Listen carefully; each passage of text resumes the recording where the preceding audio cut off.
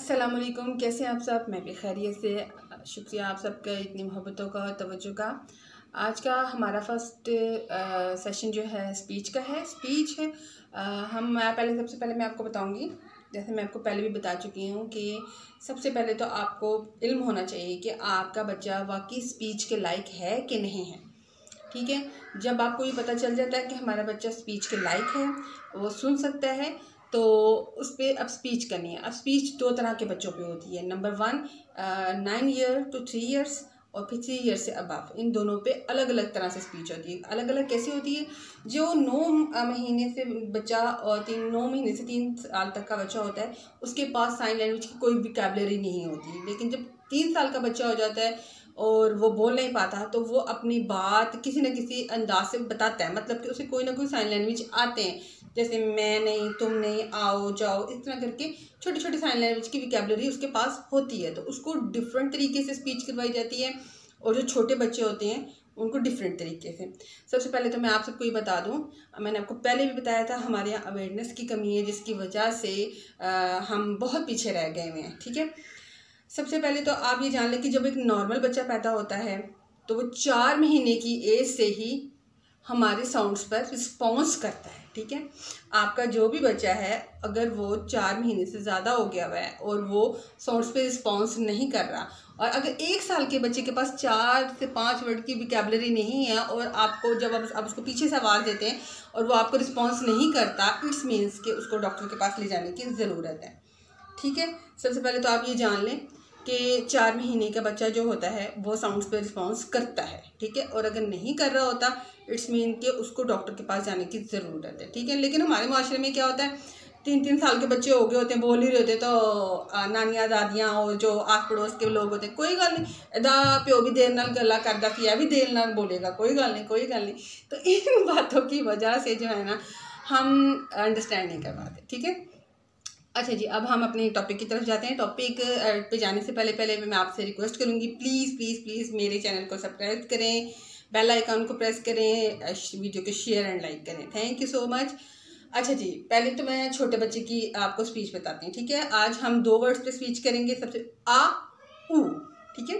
कौन से वर्ड्स है? आ, ऊ। आ का साउंड छोटे बच्चों पे कैसे निकालना है और बड़े बच्चों पे कैसे निकलवाना है, ये मैं आपको बताती हूँ, ठीक है? सबसे पहले ये याद रखें कि बच्चे को खींच के हम अपने लेवल पे नहीं ला सकते। हमने बच्चों के लेवल पे जाना है, ठीक है? हमने बच्चों के लेवल पे जाना है। कैसे जाना है? हमारी बॉडी लैंग्वेज हमारे फेस एक्सप्रेशन हमारी लिप रीडिंग ये सब काउंट करती है, ठीक है? सबसे पहले तो आपने एक्टिव होना है, ठीक है? अपने सारे काम छोड़ छाड़ के आपने बिल्कुल बेबी बन जाना है, ठीक है? फ़र्ज़ करें, ये आपका बेबी है। आपने इसको अपने फ्रंट साइड पे बिठाना है और इसे क्या कहना है? आ आ, आपने ऐसे करना है, ठीक है? वो आपको देखेगा, माँ पागल होगी, पता नहीं क्या बोली जा रही है, लेकिन आपने ऐसे ही करना है, ठीक है? फाइव टू सिक्स बार जब आप करेंगे तो आपका बच्चा सिर्फ़ करेगा नो साउंड वो सिर्फ़ करेगा, ठीक है? तो आपने उसे एप्रिसिएशन करनी है। वाह very good very good sound नहीं है, लेकिन आपने उसे कहना कि तुमने ठीक किया, ठीक है? तीन से चार दफ़ा इसी चीज़ पे प्रैक्टिस करनी है, उसको मुँह खुलवाना है, ठीक है? देन आपने उसके जिस साइड पे भी आला लगा हुआ है ना, उस साइड पे जाके कहना है, आ, इस साइड पे आला है तो इस साइड पे। अगर इस साइड पे आला है तो आ, ठीक है? अच्छा अब ये सुनने के बाद भी वो आपको कहेगा? तब आपने क्या करना नाराज़, नो नो, गलत, नो। फिर आपने उसके कान में जाके कहना आ अब आपने उससे निकलवाना है आ। पहले सिर्फ़ आपने मुँह खुलवाया था, ठीक है ना? इस चीज़ को अंडरस्टैंड कर रहे हैं? अब वो देख रहे हैं कि पहले मैंने मुँह खोला था तो माँ तो खुश हो गई थी तो अब क्यों खुश नहीं हो रही है? ठीक है? अब वो साउंड निकालेगा। आपने उससे साउंड निकलवाना है इसी चीज़ पे, ठीक है? और फिर बार बार इसी चीज़ को आपने रिपीट करना, आ आ आ, छोटे बच्चे का ये छोटे बच्चे की बता रही हूँ ninth month two three years की, ठीक है? ये बात हो गई। नेक्स्ट क्या आएगा? ऊ। फिर आपने उसके साथ उसको सामने बिठाना है और कहना है ऊ ऊ। उसने शेप बनानी है चेहरे की, आवाज़ नहीं निकालेगा, कोई बात नहीं। वो सिर्फ़ शेप बनाएगा, आपने उसे अप्रिशिएट करना है। वाह वेरी गुड बहुत अच्छा किया तुमने, ठीक है? आ और ऊ, फिर ऊ का भी आपने वैसे ही करना है, कान के पास जाके ऊ ऊ की साउंड करनी है, ठीक है? आ, ऊ आ, ऊ, ठीक है? ये अब आपने उसे बता दिया। अब उसने सीखा है कि नहीं सीखा, वो कैसे आपको पता लगेगा? अब आपने बच्चे का फेस दूसरी तरफ़ कर देना है, ठीक है? और पीछे से पहला वर्ड कौन सा बोलना है आपने? जी नहीं, आ नहीं बोलना। अब आपने फ़र्स्ट वर्ड ऊ बोलना है। इसके कान के पास जाके बोलना है, ऊ। अंडरस्टैंड क्या बोलना है? ऊ। लेकिन वो बच्चा क्या बोलेगा? आ। इट्स मीन कि जब आप पहले जो पढ़ा रहे थे, वो क्या था?